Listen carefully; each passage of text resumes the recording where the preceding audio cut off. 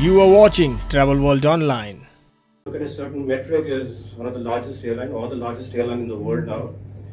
Uh, we've been flying in India for more than 20, almost 20 years now. Um, and uh, I'm only grateful to the Indian government for all the support that we've been getting so far. Um, it's a pity that we cannot fly all the frequencies. We had five flights a day earlier. Uh, we had to bring it down to two flights because we cannot use the Russian airspace. Although between US and India, we all know there is open sky. And uh, India remains a strategic mar market for United Airlines. Uh, what Mr. Kaul touched upon in terms of the challenging issues, uh, we are trying to address at our level in terms of the delivery of the aircrafts. We're getting almost one aircraft every two weeks, two to three weeks. We have in-house academy to train the pilots to make sure that all the requirements uh, are taken care of. Uh, when it comes to India, uh, US, you, if you look at the FTAs, US has been contributing almost about 20% plus to total FTAs to India. And I think if I look at the pre-COVID numbers, uh, it was almost more than 1 million every year. And uh, so United Airlines is also very strong in terms of corporate business, and we were very, very corporate focused throughout. So between India and US, there's a huge uh, exchange of corporate travelers. Uh, Post-COVID, uh, things changed, um, and we have seen the situation has flipped a little bit. And hence my, my lot of interest in this particular forum today, because how it has flipped, uh, it has flipped in terms of tourism taking over the corporate travel. So if you really look at, if I look at my metric, my figures, the corporate travel has reached almost 70% of the total business of 2019. Whereas the, the, the leisure business and the visiting friends and relatives back to India, all the Indian diaspora and other people, it has crossed 2019 levels. So initially we thought it's going to be like pent up demand, the things will change, but the way I look at it now in terms of forecast, things are not looking back at all. So it's, it's growing uh, as we see it. A couple of observations that I have, I speak to a lot of people, uh, friends in the industry, uh, and, and we all know that the travel doesn't work in isolation. So the corporate travelers, the people who travel for the business, they themselves, their families, they also travel for leisure.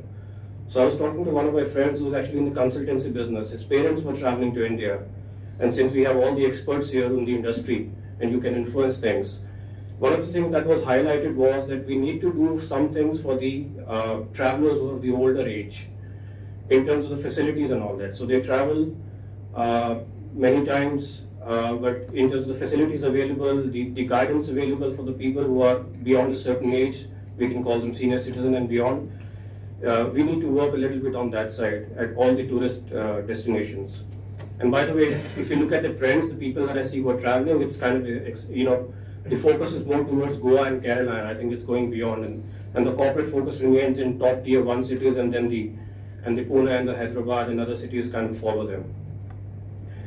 Uh, other thing which, I, which we have seen, I've personally noticed is the people who are traveling here, and again, based on the conversation, there's a lot of demand for the for the wellness and spiritual tourism.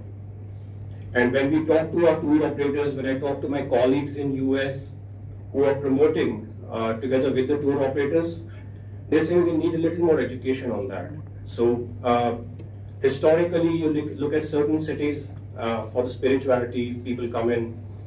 But in terms of highlighting what you can do for the spirituality, what should what should they look forward to in terms of spiritual experience and wellness? So whether it's medical treatment, whatever it is, if we can highlight that and package it as, as a part of the tourism, I know all the influencers are here, they can do that that that'll be brilliant. I think that that'll create a lot of education and, and, and awareness. Um, and yes, I think we are, we are doing as United Airlines, uh, as United Airlines, as much we can do. Our head office is also in touch with US-India Strategic Partnership Forum to bring in as much as awareness uh, and engagement and market exposure uh, possible for the India region. Uh, uh we, we uh, from the government side, I think we are very happy. I, I can always thank uh, the support that we got during COVID times, we were running repatriation flights every day. There was air bridge between India and United States, and I think we were able to fly every day. It's a pity that we can't fly now, and that's got nothing to do with India. It's more Russian airspace that we can't use. But just to kind of conclude, uh, I would just repeat the same thing. Uh, the the focus on India remains very very strong.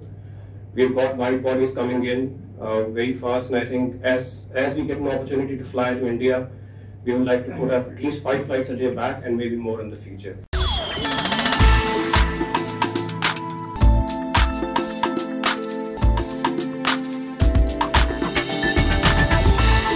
You are watching Travel World Online.